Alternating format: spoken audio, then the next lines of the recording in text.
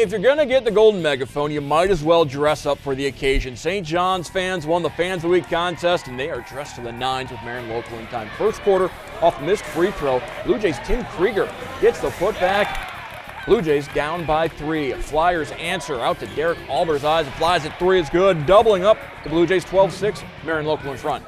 10 seconds to go in the quarter. Blue Jays' own Rhodey drives and scores.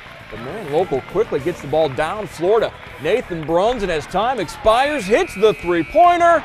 Marion Local up 15 8 after one quarter of action. Move to the second quarter now. Blue Jays' Colin Wilda. Ryan Hellman hits the three to bring St. John's within four.